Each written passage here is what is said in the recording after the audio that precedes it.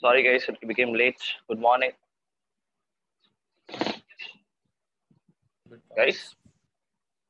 Ah, hello. Yeah. Good morning, sir. Good morning. Good morning. I'm sorry it became late.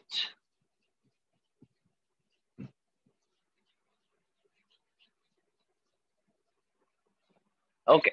So yeah. So we have uh, completed your uh, redox reactions chapter, isn't it? Right. So now we'll be starting with uh, gaseous state, right? Okay. Or in your book, it is also called as states of matter. Like I'll be calling it as gaseous state because, like, even though your chapter name says it's states of matter, but uh, 90% or 95% of this chapter deals with uh, gases only, right? Okay. So let, let us go back.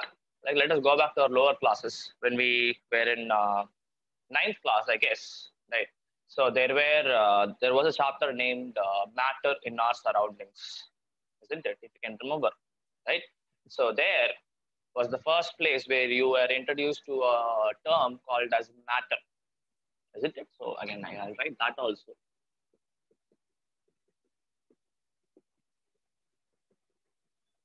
Okay. So this term matter, which you're speaking here, right, was first first introduced to you when you were in ninth class. the chapter called as uh, matter in our surroundings, right? Okay. So there, how do you define matter, people?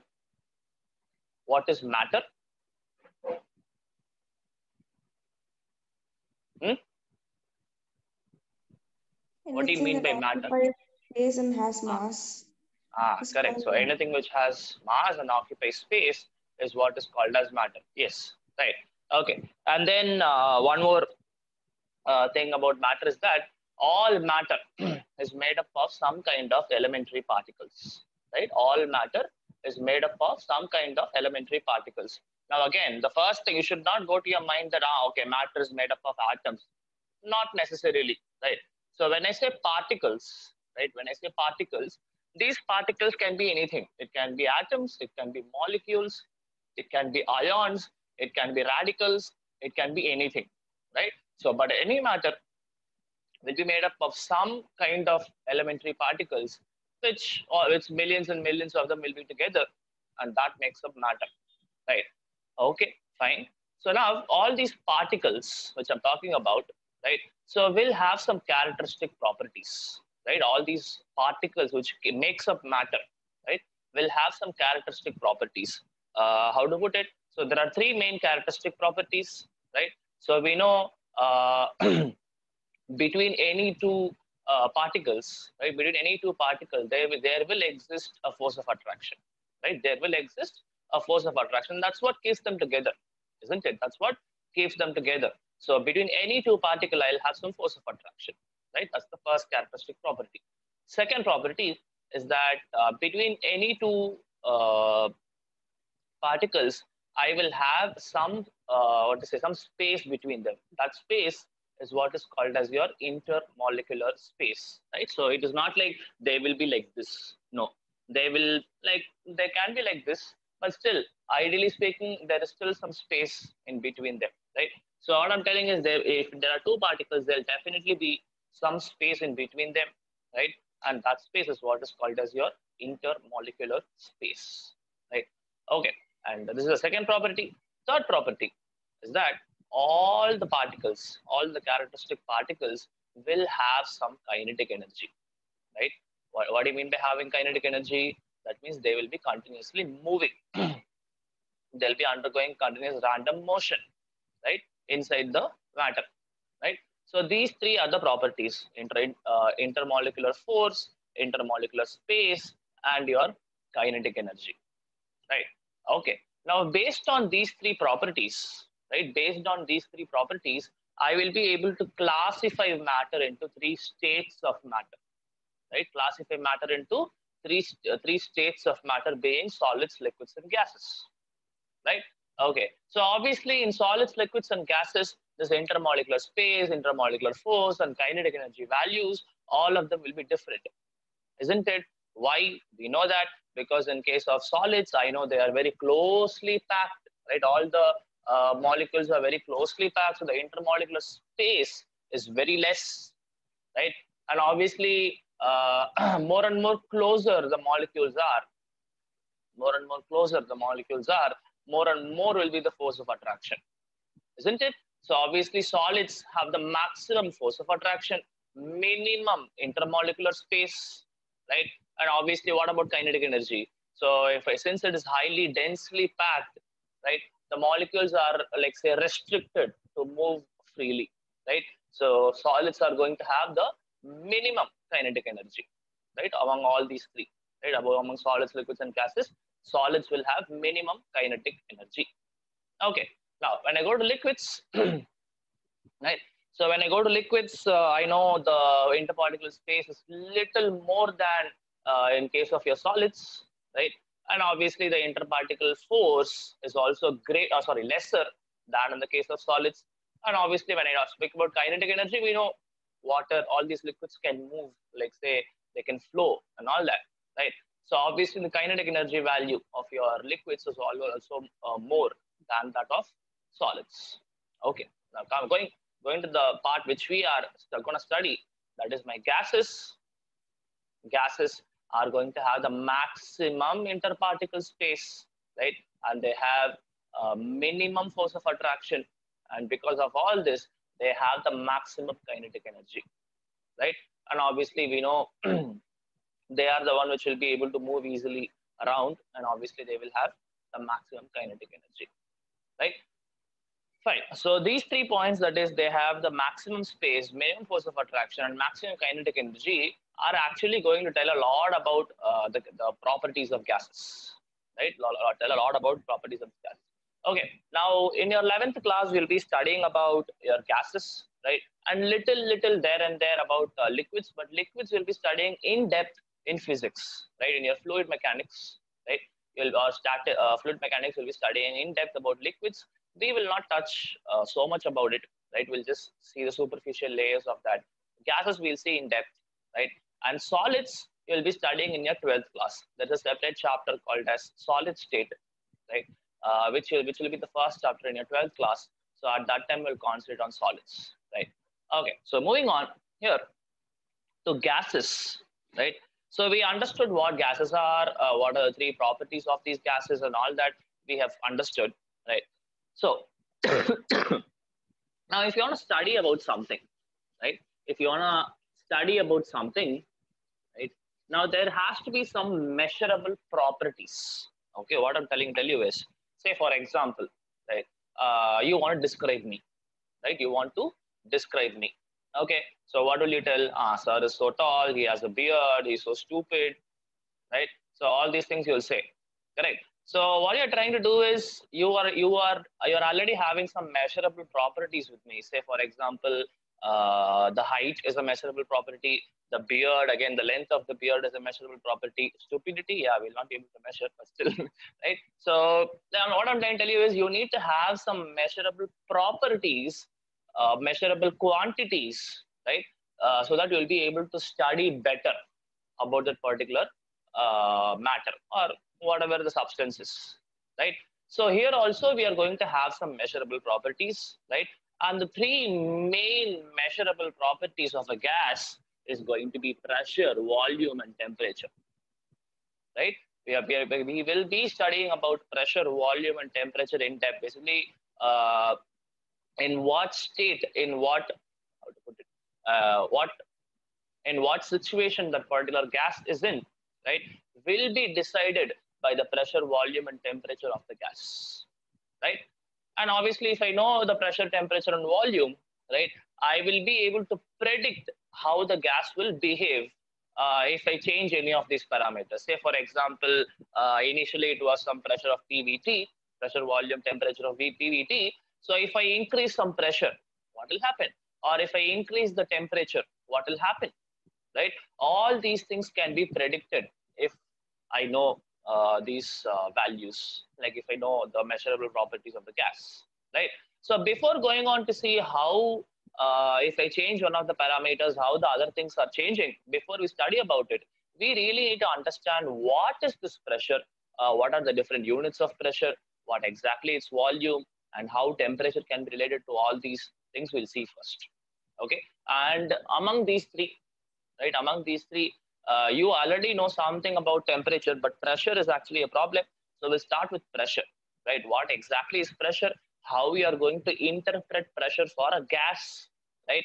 And uh, let me, I'll even tell you something about how do we measure pressure, right? So all these things we'll try to do it.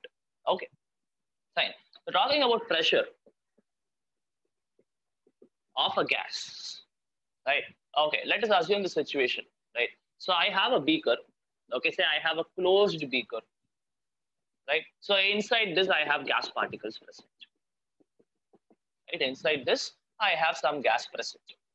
Okay, now I we already spoke about it. We already know that gas molecules will have some kinetic energies, right? There'll be um, among all these three, they will be the one which will be very easy, very free to move, and all that we already studied, isn't it? So now we can you can see that say this particle, like any random uh, gas particle you take, any random gas molecule you take, right? They will be in constant random motion, right? So when they're undergoing that kind of motion, right? When they're undergoing that kind of motion, uh, you can see that they will be able to undergo two types of collisions. What do you mean by collision? This is collision, banging, right? So that two types of collisions might happen, right? What are the two types of collision? Say the first collision can be uh, between one molecule and another gas molecule, collision might happen, right? Say uh, this molecule will collide with this molecule which is there. That is one type of collision, right? Now the other type of collision which can happen is any of these molecules will go hit the walls of the container, isn't it? Any of these molecules, obviously like randomly they're moving, so they will go hit the walls of the container, correct? So now if they do this, right, now all the gas particles are doing this, isn't it? They will eventually go hit the walls of the container, correct? So obviously, uh, the there will be some force with which it it hits the walls of the container, right? There'll be a very small force. Say, let me call that force as dF, right? The force with which the gas particles are hitting the walls of the container, right? Let me keep it as dF, right? And obviously, uh, there'll be a very small area. There'll be a very small area in which that collision is happening. Now, I'm not talking about the area of the whole vessel. No, I'm talking about the point of contact, right? A point of contact means, say, the gas particles go hitting the walls of the container at this point, right? I'm talking about the area of that point, right? I'm talking about the area of that point, right?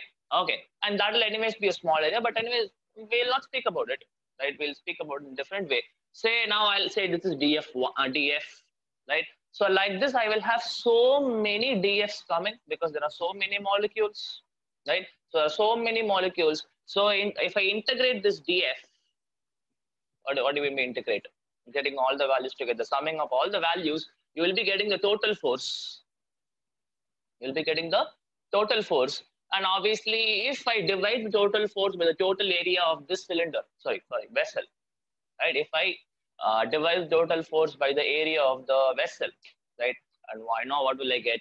I will be getting the pressure of the gas. I know for F is P is equal to F by A, isn't it? Pressure is force per unit area, isn't it? Right? So pressure is force per unit area, and obviously we know what will be the unit, right? So for pressure, uh, SI unit, there are so many units, people, please understand there are so many units which you can use for pressure, but the SI unit, SI unit is Newton per meter squared. You can see for force, it is Newton, right? For area, it is meter squared, right? So obviously for pressure, the SI unit is Newton per meter squared, right? And this Newton per meter squared can also be called as Pascal, PA, right? This Newton per meter squared, another unit, right? Basically Pascal is also the SI unit, right? Newton per meter squared and Pascal are same, right? So if someone asks you what is the SI unit of pressure, you either tell them that it is Pascal, right? Or you tell them that it is going to be Newton per meter squared, right? So we understood the scenario, how gases exert pressure, right? How gases are exerting pressure? is because they're undergoing random motion, right? There can be two types of collision. One collision can be between the particles and the other collision can be between the particle and the walls of the container. Obviously, the force with which the, all the particles will hit the walls of the container divided by the total area, right, will give you the pressure uh, applied by the gas. Okay, right, fine. So now uh, we understood that the unit is also going to be Newton per meter square or Pascal, right? Okay. Now, there are other units of pressure also.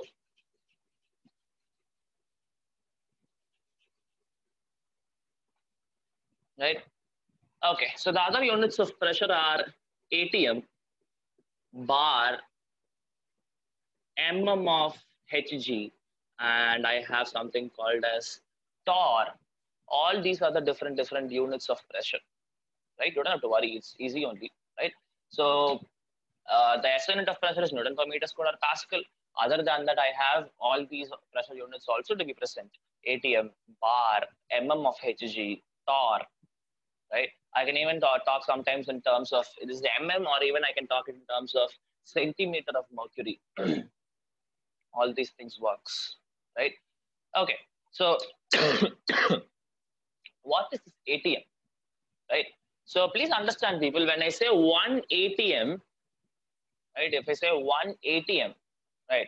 One ATM can be regarded as the pressure, right? One ATM can be regarded as the pressure exerted by the atmosphere, right? One ATM is regarded as the pressure uh, exerted by the atmosphere at sea level. Very simple, right? One ATM is the pressure exerted by the atmosphere at the sea level. At the sea level. Very simple, right? And what will be the conversion between your ATM and uh, Pascal is very simple. I have one ATM is around approximately, right? It is actually 10123, something like that, but we can keep it as 10 power 5 Pascal, right? One ATM is 10 to the power 5 Pascal. Okay, this unit conversion you need to know, right? A lot of times in problems we'll be using this. Okay, so one ATM is 10 to the power 5 Pascals. Okay, and what is the connection between ATM and bar? Very simple. Now, approximately, I can say that one ATM is one bar. It's actually not exactly one bar. It is 1.0135, something like that. But again, approximately, we can keep that. Keep it as one ATM is equal to one bar. Obviously, so now what is the relationship between bar and Pascal? Again, one bar is 10 to the power 5 pascals. Because one ATM is one bar, one bar is 10 to the power 5, I mean 10 to the 10 to the, 10 to the power 5 pascals. Right? Okay. Now, what is the mm of Hg? Like, how is it that, sir, uh, mm is the height, right? mm we generally measure length or height, right? And mm of Hg, what is this? We'll see. Okay. So this is this is where I tell you how do we measure atmospheric pressure, right? So we know outside, like in uh, surrounding us, there is a, there is a, there are some gases, there is some atmosphere, right? So those atmospheric gases will also exert pressure on us, or say on the ground, or whatever it is, right? So how will we measure that pressure, right? So for that for that particular purpose, we have something called as manometers with us. Have you ever heard of the term manometer? guys? Have you heard the term manometer? Manometer or? Ah, M A N O. Sorry. So that's a device only, no, sir? Yeah, it is a, it is an instrument. Yes, it is an instrument. Have you heard? Yes, sir. Okay, fine. So, anyways, we'll just see some little little things about it. Okay. So basically, manometer is an instrument which is used to measure atmospheric pressure. Okay, so manometer is an instrument which is used for measuring atmospheric pressure. Okay, so now how are we going to do it? So here we are going to use mercury, right? So we'll see how it is done. Okay, so I'm going to have a big vessel full of mercury. This is my mercury. Okay, Hg. Hg is simple for mercury. Okay, so what I'm going to have is uh, I'm going to have a. Okay, this is this looks like a test tube, but uh, this is not exactly a test tube. I am going to call it as a capillary tube. Okay, what do you mean by capillary tube? A very very thin tube very very small thin tube. Length can be anything. Length can be bigger or smaller. Like that doesn't matter. I'm talking about the width. Very small. Like like just like a, a small syringe. Like you can you can imagine it like that. Anyways but even if you're gonna if even if you're going to assume it as a test tube well and good. This still works. Okay? But uh, ideally speaking right this should be a capillary tube. Capillary tube is nothing but a tube with very small radius, very thin uh, tube is what is called as your capillary tube. Okay, fine. So here also I'm going to fill it with mercury. Here also it is filled with mercury. Okay, and assume that uh, I have in the capillary tube, I have some markings. In the capillary tube, I have some markings in terms of length. In terms of length. Okay, right. So now what I do is I take this, right? I invert it and I put it inside. Right? I take this, I invert it, I put it inside, something like this. Now this is totally here. I invert it and I put it here. Right? Now you can see it is full. Correct? So now if, if it is inserted here, so you will see that the mercury level is somewhere here. The mercury level inside is somewhere here. Okay, right, fine.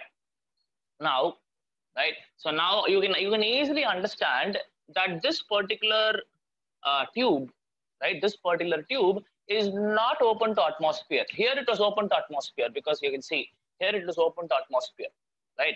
But this tube, when it is inverted, no, it is not uh, open to atmosphere. But what is open to atmosphere? What is open to atmosphere is this, right? This particular surface which is here, that is the vessel, that the bath, that is actually open to the atmosphere. Okay, right? So obviously what I see, these atmospheric gases will exert some pressure onto this. Okay, so what will happen is more, if, if, if the pressure is more, there's, there's more and more pressure, right? What will you see? The mercury column here inside the tube will rise. Is it not? Right? So I have some mercury here, right? Depending on how much pressure is applied by the atmospheric gases, right? The mercury level will rise or it comes down. When the pressure is very high, I can say that the, the mercury column will keep on moving up, right? If the pressure is decreased, the mercury column will keep on coming down. Is it not? Logical? Correct? Right? Yes, sir. Right? So you can easily understand there is I already told you that there'll be some markings here in terms of length. Right? So I obviously know what is the pressure applied here. The pressure applied is one, one atm. If I if I do this experiment in the sea level, right? If I do this experiment in the sea level, normal places, not not at Kodaikanal, not at Kashmir. If I do that in Kashmir, whatever the readings are going, it will be different because I know higher and higher altitudes I go, the pressure will decrease, right? It might not be exactly one ATM, it might be 0.7 or 0.8 ATM, something like that, right? So, but this experiment, we are doing it in sea level, normal conditions, okay? So I know what is the pressure applied. The pressure applied by the atmospheric gases is one ATM, right? And what I observe, and what I observe is the reading here, which is shown, or wherever the uh, what is that? Wherever the mercury is, the last part of the mercury, wherever it is, I saw that the reading was 760 mm. That was the reading which I get. Right? That was the reading which I get on the capillary tube. Uh, this height of the mercury column, right? The height of the mercury column was found to be 760 mm if the atmospheric pressure is 1 atm uh, guys really understand how like how did we how did we um, come to the 760 right so the atmospheric pressure atmospheric gases are exerting pressure and because of this, the mercury column is rising, right? And obviously, I'll reach an equilibrium, right? Obviously, I'll reach an equilibrium, isn't it? So at that equilibrium point, right, I, I see that the reading in the tube is 760 mm, right? And eventually, right, this also will become the unit, one of the units of pressure. So I'll call it as 760 mm of Hg is equivalent to one atmospheric pressure. As simple as that, right? 760 mm of Hg is equal to one atmospheric pressure. Okay, so this is the unit conversion again. This is the unit conversion again. 1 ATM is 760 mm of Hg, or I can even call it as 76 centimeters of Hg. Anything is fine. Okay, 760 mm of Hg, millimeters, right? Or it can be 760, sorry, 76 centimeters of mercury. Okay, uh, actually, this is not exactly how we get the 760, right? Uh, we like hope you can remember there is a formula for pressure. Pressure is rho g h, isn't it? Rho g h. Hope, do you know this formula? Have you seen this formula before, guys? No, sir. Oh, you have not seen this formula? Okay, then take it down. Pressure is rho g h. What is rho? Rho is density, right? And g is the acceleration due to gravity, 9.8. And h is the height. H is the height. Right. So uh, this actually was used here, right? This actually I, I'll be able to derive that for you if you want, right? How is it uh, rho, g, and h? You want to see how is it derived? How is it Yes, that sir. Ah, okay, so we'll see that how this p is equal to. We know one, already one formula. P is equal to f by a. Okay, so that we'll try to use and connect it here. right? Okay. So till now, no problem. We'll just concentrate on this.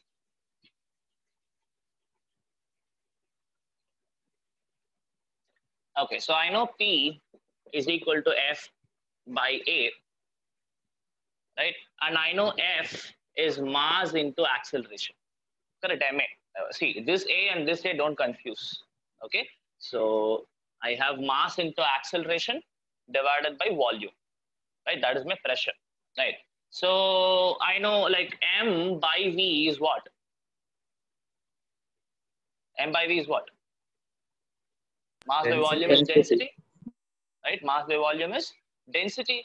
And I have this uh, acceleration due to gravity. Oh, I forgot. Oh, sorry. This is not V, right? This is A. Sorry. Not V. Okay, we cannot directly do it. Okay, fine. So now what I'm going to do is I have uh, mass into acceleration divided by area, right? So what I'm going to do is, uh, since I want to talk in terms of uh, height, so since you're talking about height of the column and all that, so what I do is I multiply and divide by h. I multiply and divide by h. Okay, so now I already know area I already have, and if I multiply it by wall, multiply it by height, right? I have area. If I multiply it by height, what will I get? Volume. Volume. Exactly, right? So I know area into thickness or area into height will give me the volume, correct? So I'll write it like this. I have mass and acceleration. I have only one type of acceleration, assuming it is going to be only gravity, right? So it is mass into g, acceleration due to gravity, right? Into h, right? Divided by a into h will become volume, right? And now I know mass by volume is density so you get this equation. P is equal to rho g h. P is equal to rho g h. Okay, so now I'll be able to tell you how I got this 760 also, right? How exactly now actually uh, what I'm telling you is this readings which are here, it is it is not going to exactly give me the length. Okay, uh, the 760 value which I got is actually going to come from here, right? How? Because I know already the pressure is 1 atm. Okay. Now density. Now density of mercury. Density of mercury is around 13.5 gram per ml, something like that in that range, right? Or uh, what is that? A density of mercury is going to be uh, this range, 13.5 centimeter cube and all that. And I know the G value is 9.8 meter per second squared, right? So now this value I know, this value I know, this value I know. And if I put the height value, the height value was found to be 760 m. Guys, did you understand how, how we got 760? Everybody understood? Yes, sir. I have a doubt actually. Okay, one more time I'll repeat, then you ask me a doubt. Okay. Okay, So sir. we derived this formula as P is equal to rho GH. Okay. So now in the experiment which I did, I know what was the pressure. The pressure is applied by the atmosphere, and I know the pressure applied by the atmosphere is 1 atm. Right. And the density can be found. It is a liquid. That the liquid density will be constant, or irrespective of wherever it is, whatever it is. I mean, uh, definitely it depends on the liquid. So for mercury, the density this is this rho is density right so and that is found that is uh, equal to 13 point, approximately 13.5 gram per centimeter cube or gram per ml right and g uh, we, we already know it is 9.8 so h value can be found out right and that h value turns out if you do the, all the calculation to be 760 mm yes rohan ask me a doubt So in the formula, we are having meter per second square and millimeters. So we have to convert it to. we'll convert definitely definitely definitely definitely right so i know this is meter per second squared so this should be uh, in kg per meter cube only all SI units Okay, Right. sir. and and if you do it in SI units h also you'll not get it in directly millimeters you'll get it in terms of meters and then We you have to convert convert it. Okay, sir. Right so all the units must be definitely same okay Okay, So yeah, so this is how people we use pressure, atmospheric pressure in terms of height of mercury column, in terms of your uh, what is that SI units, pascals, right? And there is one more called as bar, right? So that's what we that's how we do. Now this whatever we did is for measuring the atmospheric pressure, right? Uh, but a slight variation of this, a slight variation of this uh, this experiment, whatever we conducted, the tube inverted into the vessel, all these, a slight variation of that can be used to find the pressure of a particular gas, right? So now still now we're talking about atmosphere, right? So this experiment can be little modified, right, to find out what will be the uh, pressure of a particular gas. That also can be found out. Okay, so like we'll not go into it, right? Or I, I'll tell you actually, it's not a big deal. Like how are we going to find out, measure the pressure of a gas with the same experiment, but a little modification. Uh, yeah. So what we are going to do is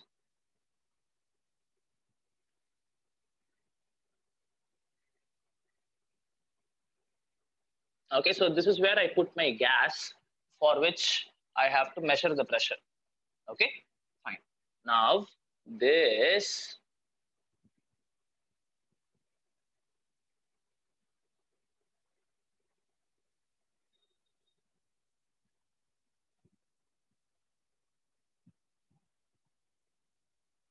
okay this is open to the atmosphere okay so assume that uh,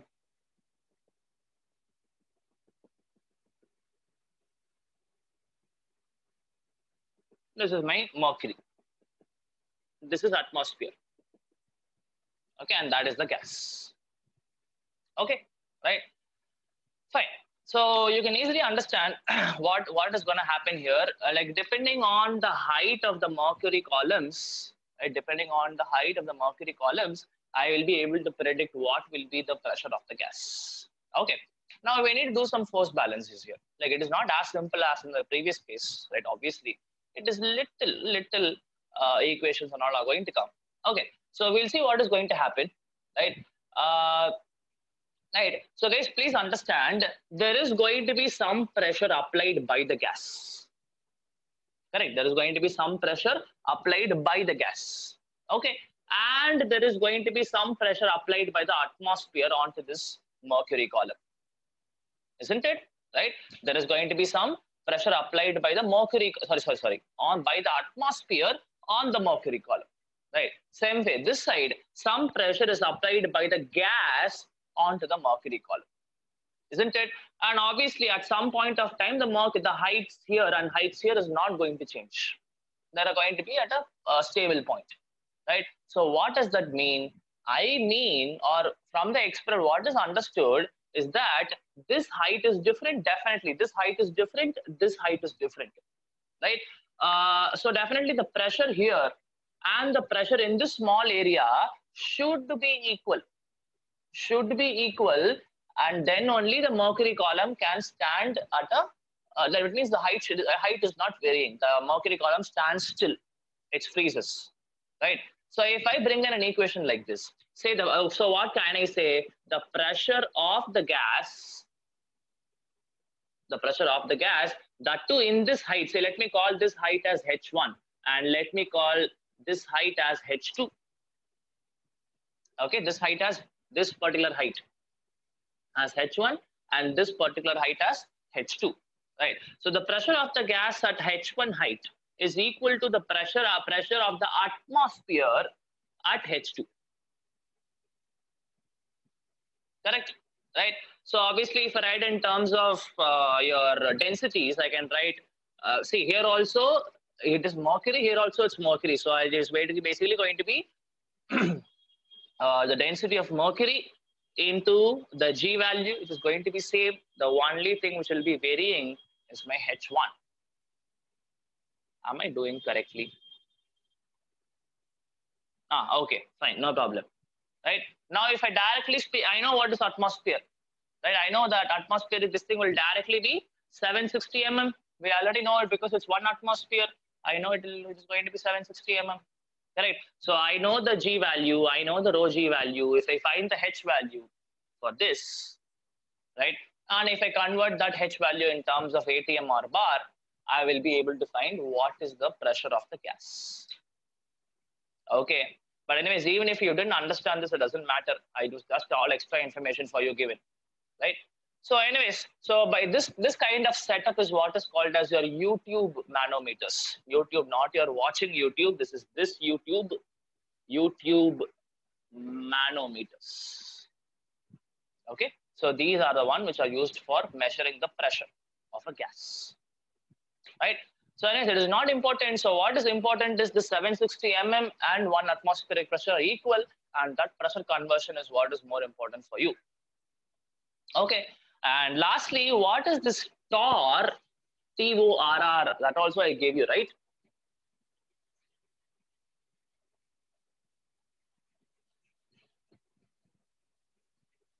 So nothing, torr and mm of Hg are same, right? So please understand this uh, I have 1 mm of Hg is 1 torr.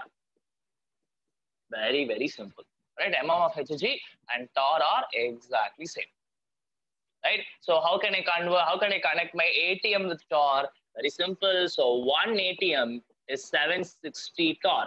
Why? Because it is equal to 760 mm of Hg. Right? So you need to know all the unit conversions of our pressure. I have ATM, Newton per meter squared. So remember, ATM and bar are same. One bar is almost equal to one ATM, right? And one bar is equal to one ATM is equal to 10 to the power 5 Pascal. And Pascal is the SI unit, Newton per meter squared. That is the SI unit, right? And the other two units, that is your mm of Hg and your torr are exactly same, right? Uh, 1 mm of Hg is 1 torr.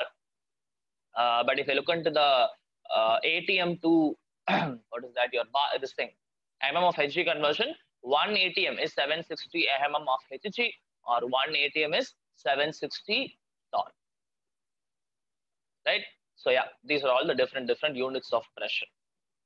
Okay, now moving to volume, don't worry, I'll, I'll finish it soon today, right? So when I speak about volume, we know what exactly volume is. It is the space, how much space that particular uh, species is taking for, for its being, right? So obviously, when I talk about gases, gases can occupy any volume, whatever the volume you are going to give it, give it to the gases, they can occupy the entire volume, right? Say I have some amount of gas. If I want to, uh, I have a very small vessel. If I want to contain the gas in that vessel, yes, I'll be able to do it, right? Or if I want to uh, just open it up, so I give this entire room for it to occupy, this will occupy the entire room, right? So please try to understand volume for a gas is going to depend upon the volume of the vessel.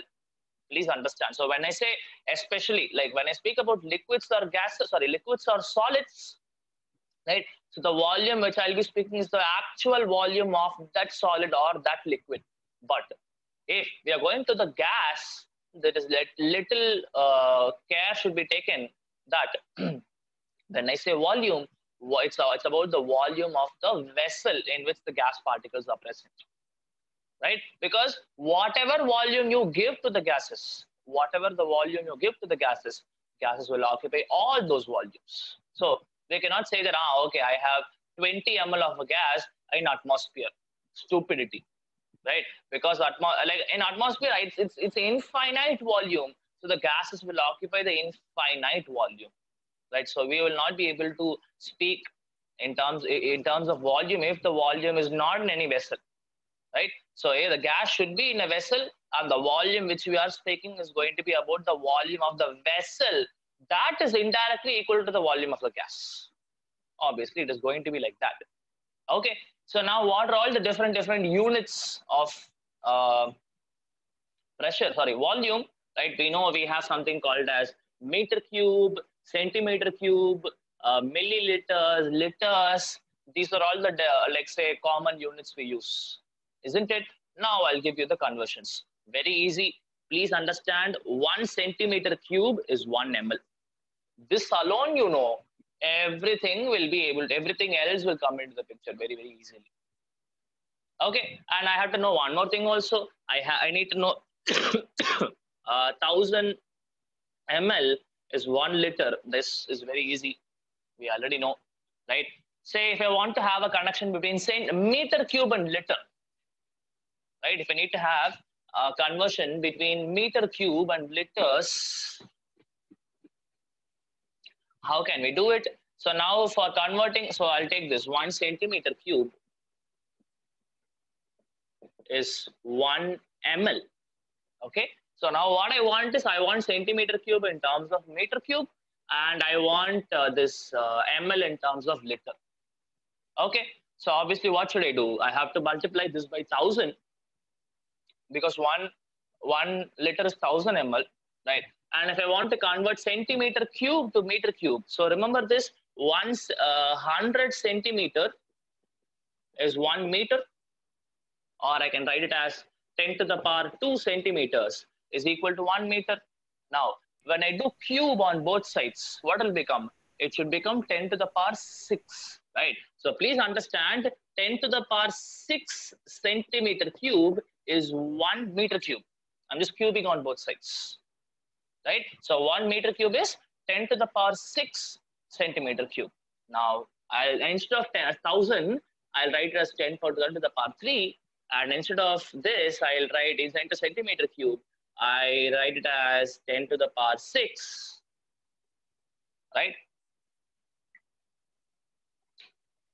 Am I doing it? Sorry, 10 to the power minus 6. Sorry. Okay, please, please understand I'm converting a smaller unit to a bigger unit. Again, smaller unit to a bigger unit. So it should be 10 to the power minus 3, 10 to the power minus 6 here. Okay, you understand why I, why I put a minus sign? I'm converting centimeter cube to meter cube. If I if I convert meter cube to centimeter cube, then I'll multiply by 10 to the power 6.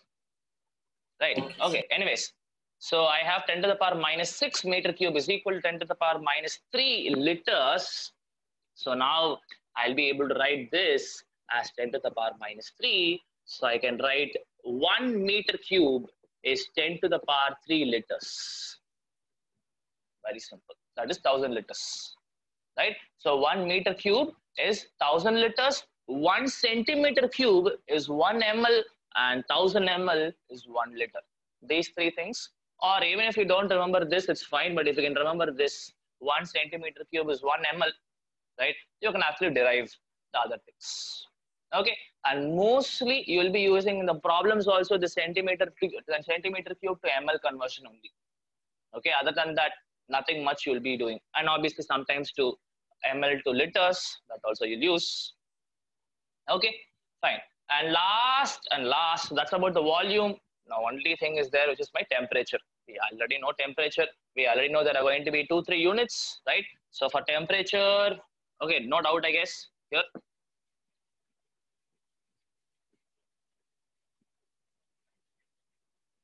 So for temperature, we'll speak in depth about temperature in the next chapter, that is my thermodynamics, right? But for now, just understand that the temperature is the measure of how hot or how cold the body is, right? We already know the definitions, right? So we know the unit, unit can be Kelvin, that is the, this is the SI unit. Oh, and, and obviously when I go for your, uh, what is that? Uh, volume, meter cube is the SI unit. What is the SI unit? For volume, volume, meter cube is the SI unit, not liters. It's meter cube. Okay. So now, when I go for temperature, it is the uh, Kelvin is the SI unit K, right? And I, other than that, I have Celsius degrees, Celsius Fahrenheit, and all that. So we know how what we have to do to convert Kelvin to Celsius degrees, right? So for converting Kelvin to Celsius degrees, right? I have to subtract 273 Kelvin, 273, right? And if I want to convert uh, Celsius degrees to Kelvin, add 273. So this, will be able to convert it into Kelvin. That we already know, right? And what is the conversion between Celsius degrees and Fahrenheit? Like it is not important, but still we'll just know the formula, right? So I have F, if you want the value in terms of Fahrenheit, it's equal to 9 by 5 into the Celsius degree value plus 32. Okay, so it's, uh, degree Fahrenheit is equal to 9 by 5 and the value in terms of uh, Celsius degrees plus 32 is the conversion between F and C. And this is the conversion between K and C. Okay, so these are all the different units. These are all the different measurable parameters of the gas, the three things, pressure, volume, and temperature. Now we have understood what are all these things, all, what are all these things. Okay, so in the next class, we will vary one of the parameters and see what is happening to the other parameters. Okay, and that obviously we'll be seeing in turn. Now we are not the first ones to do this. Like, I mean, changing one parameter and see, see what is happening to the others. We are not the first ones. Already some scientists have done it so we will be, will be seeing the same exact uh, real life applications in terms of laws, say Boyle's law, Charles' law, Gay-Lussac's law, Avogadro's law, ideal gas equation. Like this, you will be seeing in terms of, uh, what is that? Laws, rather than seeing in terms of experiments. Okay, so yeah, people, that's it for today, right? So next class, we'll be saying what I told. Until then, bye-bye. I have a doubt. In that redox chapter, sir, Yes, Kana. uh, did you explain the, the Daniell cell, this last part? Electro Oh, you have cell. Daniell cell. Uh, we have that, sir, I think. I'll explain it next class because I thought you'll be studying up again about Daniell cells in the 12th, but I didn't know that this was there. But still, I can explain next class. It'll take only five minutes. Okay, sir. Easy. Right? But remind me, okay, next class. Yes, sir. But I, okay, cool. Any, any, any other doubts, people? Okay, so if that's the case. We'll see you again. Thank you. Right, We'll meet. Thank you, sir. Thank you. Thank you, sir. Thank you.